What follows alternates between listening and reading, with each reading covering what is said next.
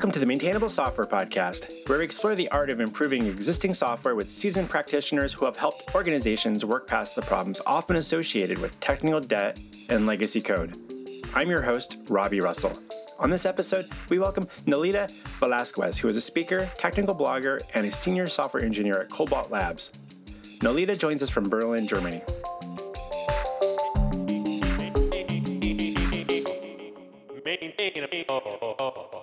Nelida Velazquez, welcome to Maintainable.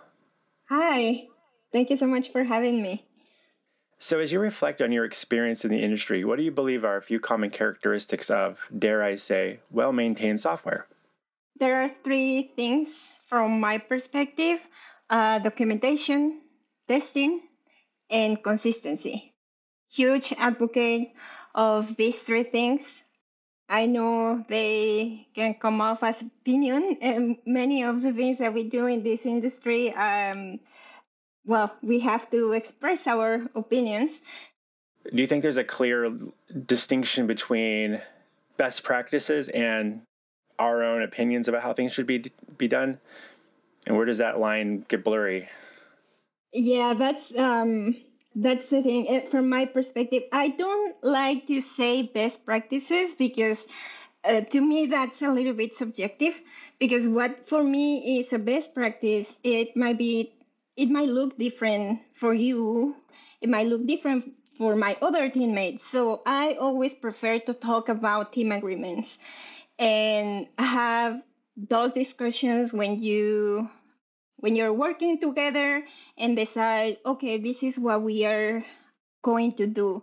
Uh, this is um, um, we are going to use this linter and these conventions, and of course we can lean on you know other people that has uh, solved the same problems or similar prob- problems and try to draw from from there. That's what I like to. I like the term of team agreements better over best practices because it's a mutual understanding and we had that discussion we communicated as a team first. So for me that's the foundation rather you know me saying this is the best practice. Or really? How did you come to that conclusion?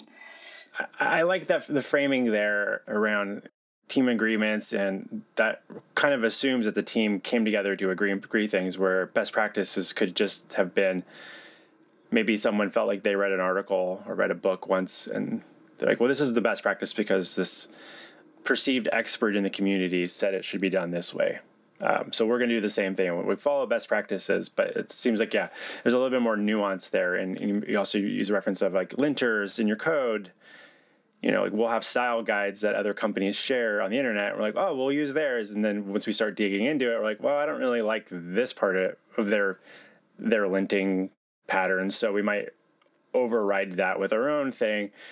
But sometimes that stuff is a little less. Uh, I, I wonder how often that stuff gets discussed and agreed upon, or should those types of things be renewed, like agreements, like wedding vows or anything, where you have to renew those uh, agreements every once in a while, just so we're not just following down the same path that maybe our predecessors at our current company decided were the agreements or best practices? Absolutely. Um, I had a mentor that used to say, a team completely changes when one person leaves or when one person joins that team. So it's a completely different team.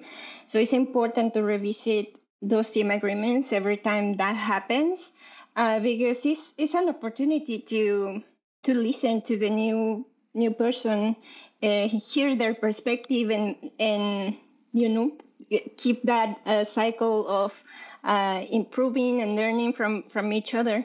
So i think absolutely every time uh, the team changes uh, those agreements need to be revisited and to hear the perspective of the new team members.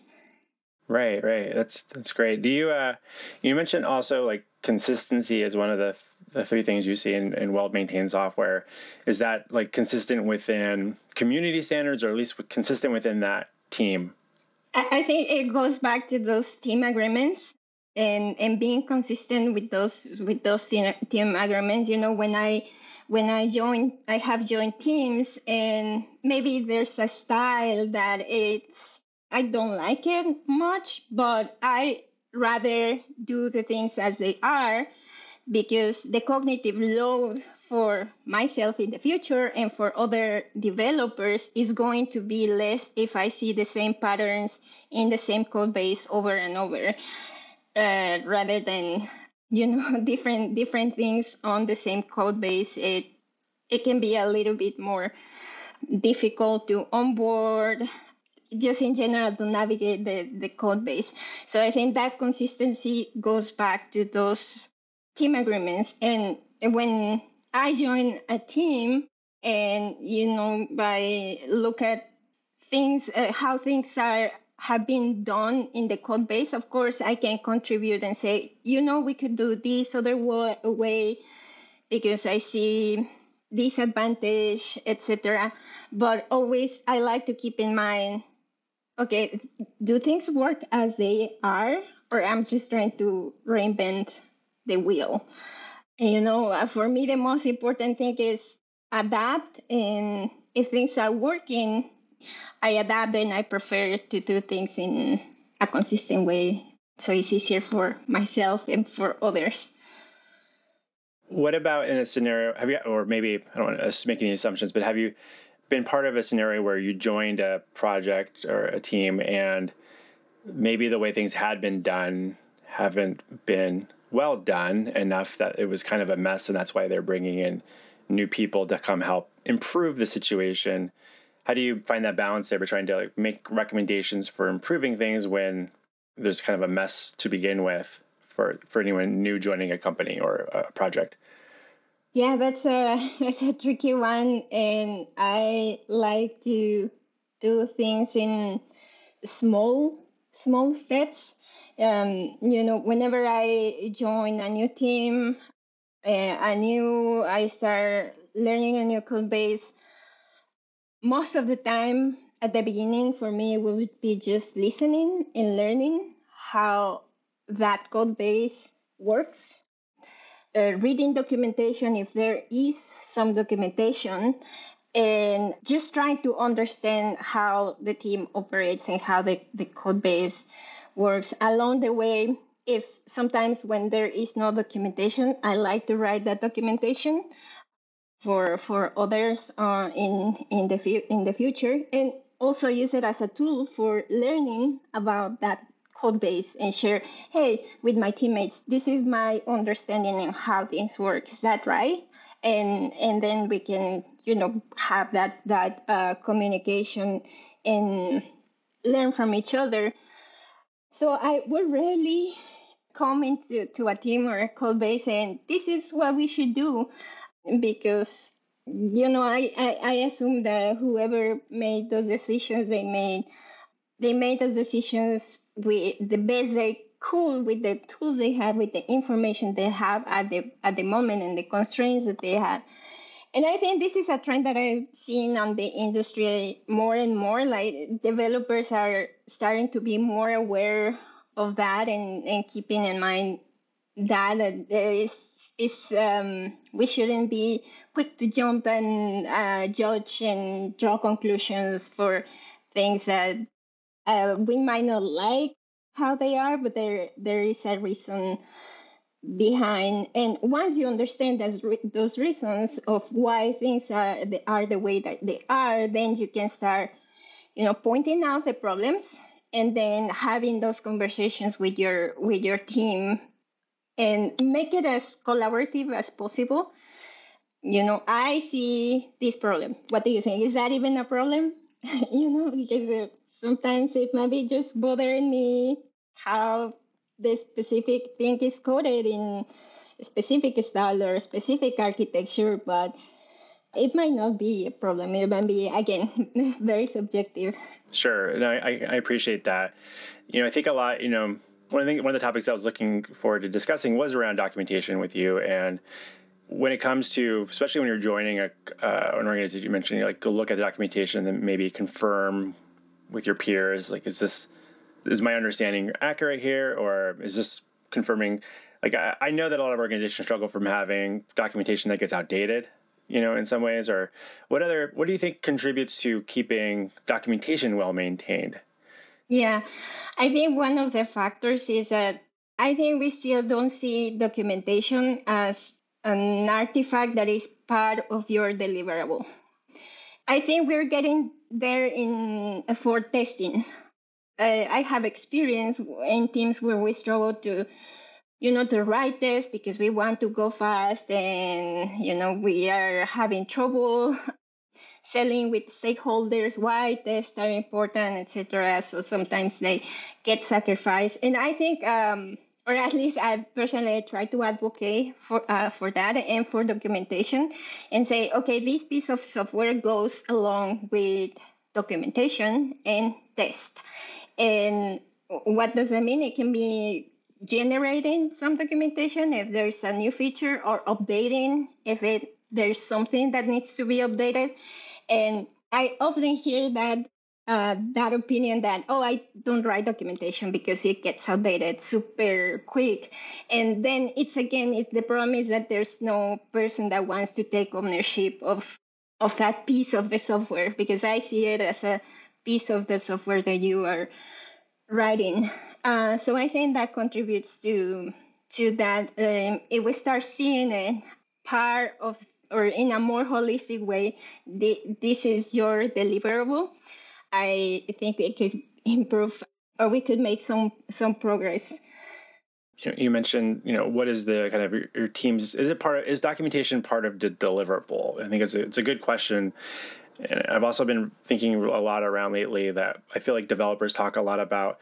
It would be great to have more of the requirements like really well organized like whether regardless of what tool you're using to manage like your features or bug fix tickets issues whatever regardless of whether you're using jira whatever type tools you're using there's an emphasis on from a lot of developers being like the the thing that i get assigned to work on needs to be well defined right? So it's like i might i need this to be really clear about what the expectations are what the acceptance criteria are you know what does this look like to, from like a feature that we're building? But then not necessarily developers have the same sort of expectation of themselves when they do the work, they build the feature to also document how that might like what changed or what needs to be updated in the documentation because it's like it's like well I made the thing work and now I'm done but it's I think there's that back to the whole team agreement aspect of like what sort of questions what sort of questions do you think developers should be asking if they were to think about they're working on a feature or some a change to the software um, outside of like does anything need to be documented here? What sort of what other types of questions do you think would be helpful for people to be asking themselves to finish out that deliverable? Hmm. Uh, that's a good question. If I think uh, back on what kind of things I like to include when I write documentation, one is at least some very high level description of the architecture some sort of getting started guide for new team members so they can know how to what are dependencies that they need if references to these conventions if they we have them and how to contribute to the project one of the things that i mentioned also about documentation is uh, the, the closer it, it is to the code the, the better uh, one example that I've seen is uh, with the Spring Boot framework. I often find myself, you know, clicking into classes or functions and reading the the official documentation, and I think that's super super helpful for uh, for developers. So it's I, I would say it's a combination of very high level documentation what uh, what I'm what we are building and uh, maybe a rough idea how did we build it like you know more the small details of how this function works or what is the purpose of this this class. Uh, diagrams i love diagrams. I love include diagrams. I think uh, as they say um, an image uh, speaks louder than thousand words. So I am a big fan of having diagrams. And again, if we go back to speaking about how quickly they can get outdated, I, I agree that that happens. And even in those cases, for me, I've been into projects where there are some sort of diagrams, and at least even if they're old, at least they're they are helpful to understand the context of why some decisions were made, how it happened, the code base to evolve. Maybe it was in a certain state and, and now we change something, and at least you have that information to put start putting pieces together. Uh, yeah, I agree. Documentation can get outdated, but even in those cases, I personally still find it very helpful and useful.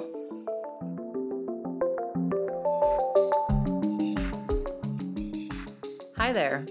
Do you know someone who might be looking for assistance with their Ruby on Rails application? Planet Argon would love to meet them. We're offering a $1,000 referral bonus. Send someone our way, and if they sign up for services with Planet Argon, we'll give them a $1,000 discount. And in return, you'll get a check for $1,000 in the mail, just for knowing the right person. Hop on over to planetargon.com slash referrals for more information and to refer someone our way. That's planetargon.com slash referrals. Thanks.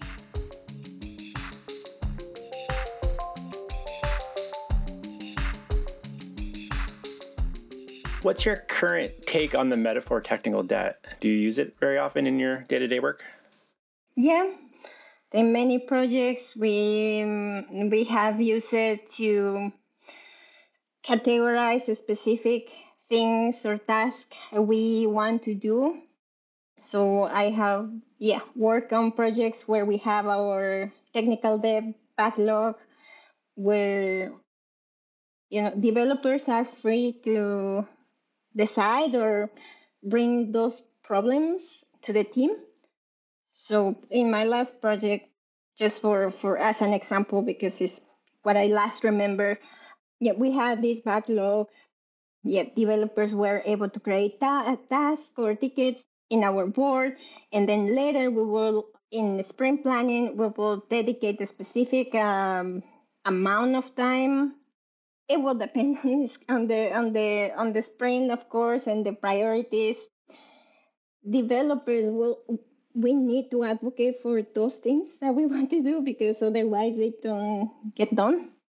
So we will talk about those take the items and try to accommodate them in the sprint if they made sense or if the other priorities allow working on on those items.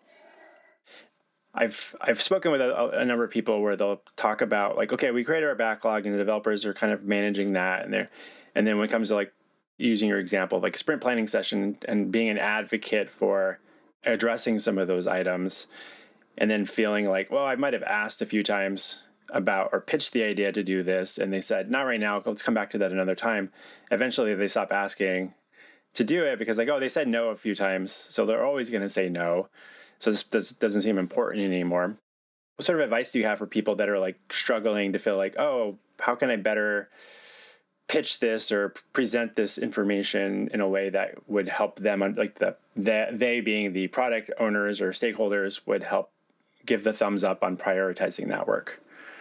Yeah, I've been thinking a lot about that, and if if I think on my previous experiences with other projects, I think, and this is something that I think, and I'm going to try to, you know, experiment more in the future, is uh, measuring.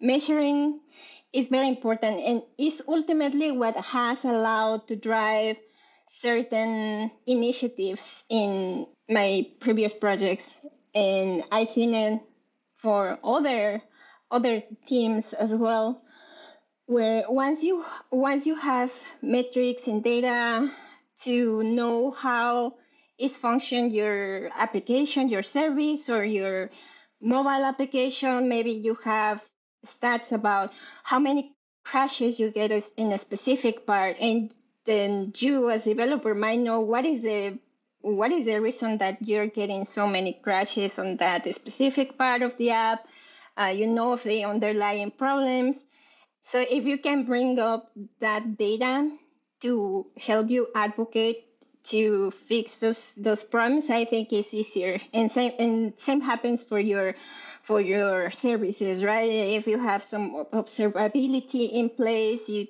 um, maybe you can see the number of errors that are happening for a specific endpoint, or if you have performance tests that can inform you what are the things that are worth to advocate for also and i think that also helps you as a developer to keep you a little bit more objective on the things that you want to advocate because if it's something that you just don't like the style of how something is written let's say oh i want to try this new architecture but if you look at the metrics or something there's really not much of a problem for that part of the application, then uh, what is the point of doing doing that? So I think yeah, metrics can help you as a developer as well to to understand what is it worth to pay for. So another another topic that I wanted to dig into was around because another thing that you mentioned about well maintained software is testing and a lot of people talk about testing you know, in, in, some of our precursor to this conversation, you'd mentioned uh, meaningful tests. Like, what's the difference between a meaningful test and, and I suppose maybe a non-meaningful test? When can a test be not meaningful? Yeah, I specifically talk about that part because I have worked in code bases where, um, you know, teams, we want to have a specific percentage of uh, coverage test. A measurable. Uh, yeah, yeah, uh, to say, hey, we have 90% of tests, but then sometimes those tests are a little bit painful to maintain and, or, or even, you know, they're fl- tests or I've seen tests where they test the models where um, there's really not much value that that that test is not it's not catching bugs or is not helping me um, as developer.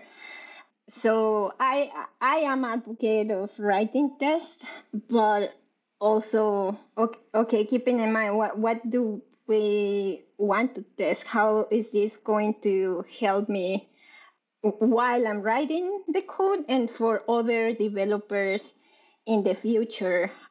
Am I writing the test in a way that is that is also easy to change. Again, my uh, reference, my mentor that I mentioned earlier, he used to say testing is code too. So the, the test that we are writing is is code as well. So we should see it with the same care that we write, you know, our feature code. So I, I think that sometimes we might forget that and and you know maybe repeating some code in the test and that makes it also difficult to maintain is at the end is also code so i yeah i think i was referring to meaningful tests and being, being a little bit using common sense of what what classes or what code is it makes sense to to write tests for and just for providing like if, if and if you don't have an immediate example that comes to mind, but can you think of a a test that you were like, we should just get rid of this because this is not providing enough enough value to the code base?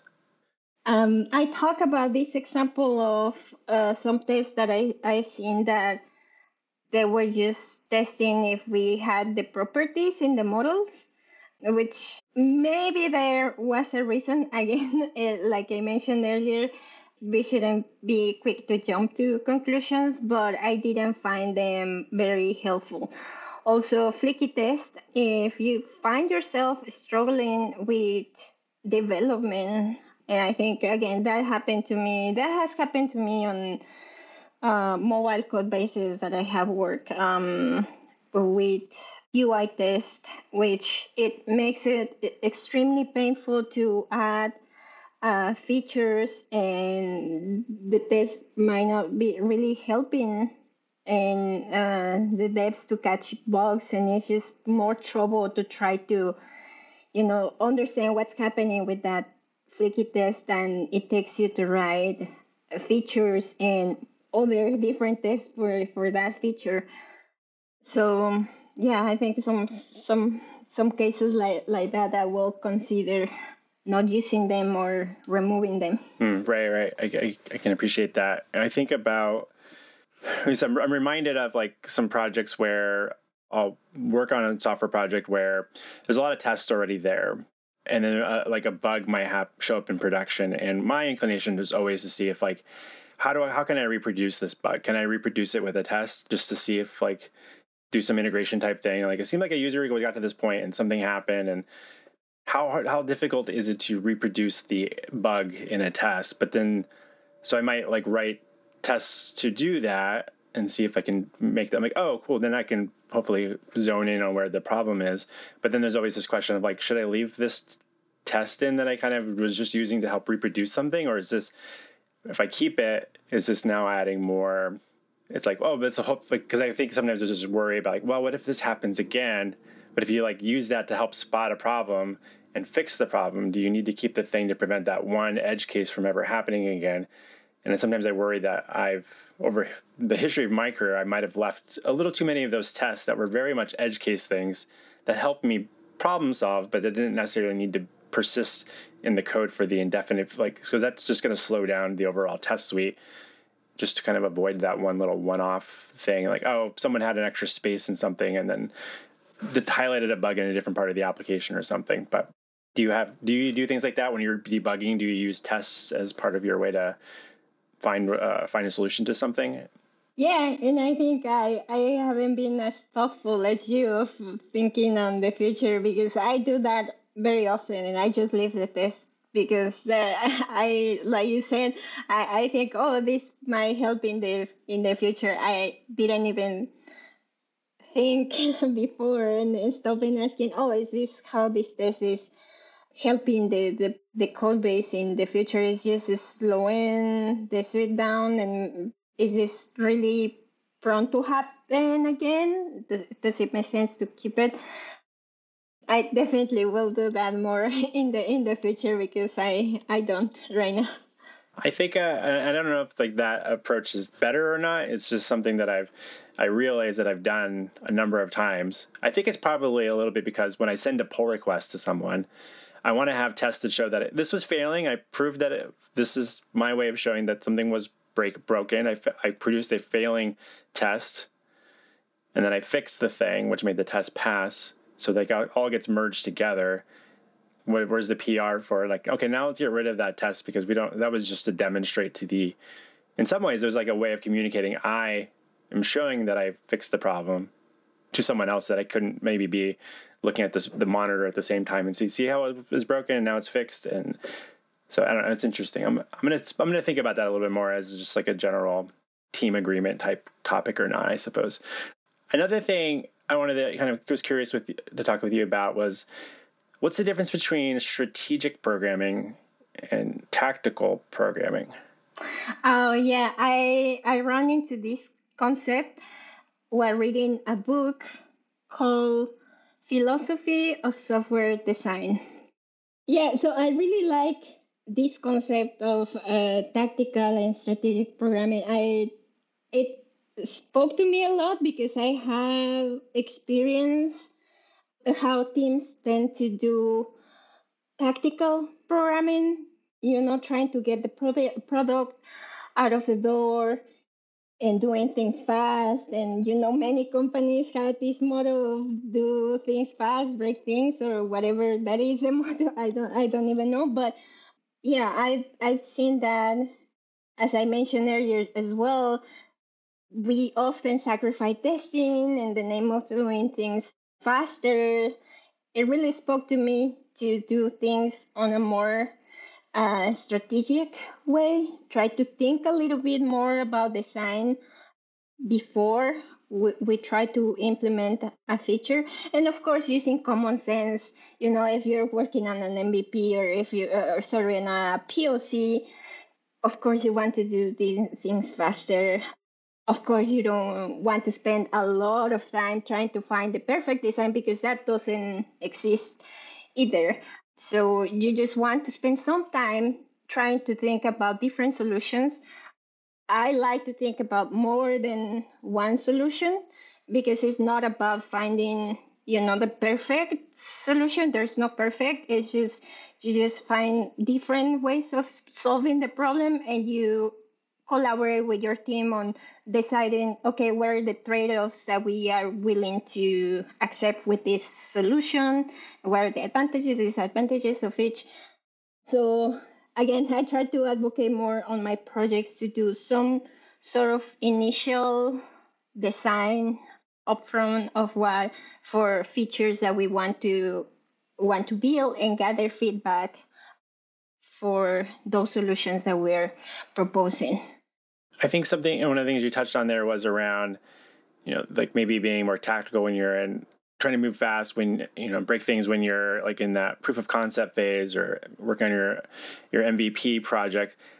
How often do you feel like teams know where they are in the life cycle of a software project to know where that line is? Like, oh, now we now we should really start being more strategic because this seems like a real thing or how do people make that distinction because like a lot of people might start a project with the best of intentions thinking let's come up with like a, the ideal architecture for how we're going to do things and then other people might argue you might be getting a little ahead of yourself like let's just see if there's a anyone that wants to use the product first before someone's got to pay for the product or the software it's just kind of weird. Uh, this weird dance that I think software developers maybe not always knowing where they're at, or a where a company or where that piece of software is at in its life cycle.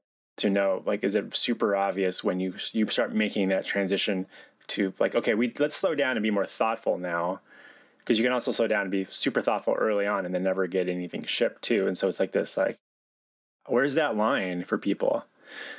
Uh, that's a good question. I don't know. I don't know. I, I I think I've been in projects where we realize I join a project and you know uh, developers start strolling, adding features. Uh, things uh, are getting complex. You start voicing these problems and try to advocate for for that and say, hey, can we slow down? I've been in in those situations where yeah, developers are strolling and we start bringing up these problems and some companies we try okay stakeholders might buy in and that and say okay we are uh, we are maturing uh, and and now we want to put uh, strategies uh, strategies in place to you know empower engineering teams to uh, make the changes that they need unfortunately i think we see it too late sometimes.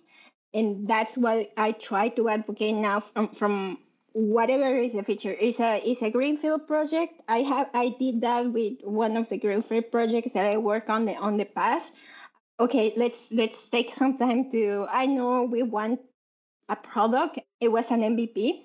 And oh, okay, I, I, I I know we want to have we want to get something fast, but we need to get at least a little bit of thought, have a, some documentation in place because ultimately this is what is going to help the product in, in the in the future. So I don't know what is the I don't know what is the line, uh, unfortunately. I don't know if we can ever figure out where the line is. Maybe I think that's just, it's it's maybe whatever the team is or the what they agree on where that line is. I suppose. But there's also this interesting thing that we can see happening where you might be going really fast for a while, and then you're going to naturally start to slow down because of all the the lack of t- amount of time you've slowed down. It's kind of like this weird, you know, counterintuitive thing. Like either you're going to slow yourself down, or you're going to need to slow down so you can go fast again. And it's like this careful dance, I suppose, that which makes different teams different, right? And not all not all software projects are going to run and, and be as successful as each other, have the same outcome, or there's a lot of elements at play. And some software projects you might be working on, you might be doing everything you can possibly do to be strategic and be thoughtful, but then maybe the business doesn't isn't able to sell the thing or isn't able to get customers or whatever. It may not you know, it may, it may not continue being a software project forever either. So the tricky balance when you're trying to build things that will last, but you don't know if the thing's going to last for things outside of the control of the code, right? There's a lot of other factors as well. So it's, it's interesting. Yeah, you, you talk about, you know, trying to get customers or users for the product. I think that's a very important piece that as engineers we should be mindful of and be curious uh, we often t- talk about oh uh, stakeholders don't understand that we we have all this technical debt but it was it, it goes both ways uh, we also have to be open to listen okay why why do you want this feature so badly? Why do we have to get and, and trying to understand what is what we want the product to move towards on the end. So it's it, i think it goes both both ways and it's really important to pay attention and listen as engineers.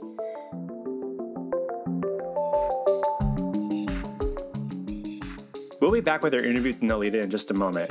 Hi it's me Robby i just wanted to take a quick moment to say thank you for making time to listen to the maintainable software podcast if you're finding these conversations valuable please consider sharing a link amongst your peers on social media and or writing a review on Apple Podcasts or Spotify to help spread the word. Also, do you know someone that I should be interviewing on Maintainable? Shoot me an email to Robby with a Y at maintainable.fm and state your case. And now, let's get back to our interview with Nelida Velazquez.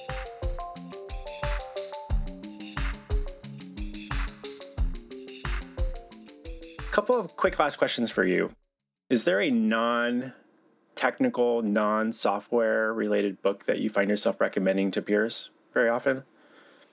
Non technical book. Well, I can only remember uh, the last book that I really enjoy that is non technical, which is called Mexican Gothic. It's a novel.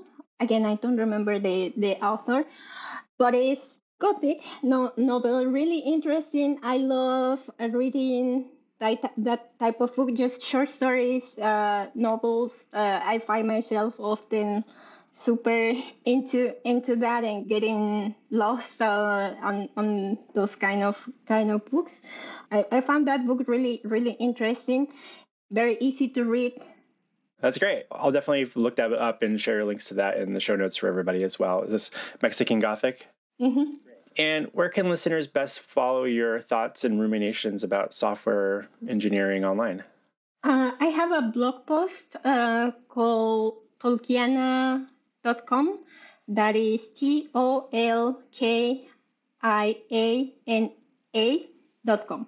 And um, I write about the things that I learn um, main, mainly. So I learn something and I write about that because I think it helps me to uh, solidify a little bit, and hopefully it helps other people as well. So mainly there, I don't tweet a lot. I have Twitter, but I don't use it very often. Well, great. I will definitely include links to all those in the show notes for everybody. And with that, it's been such a delight having you join us on Maintainable, Nelida. Thank you so much for stopping by the talk shop. Yeah, thank you so much again for having me.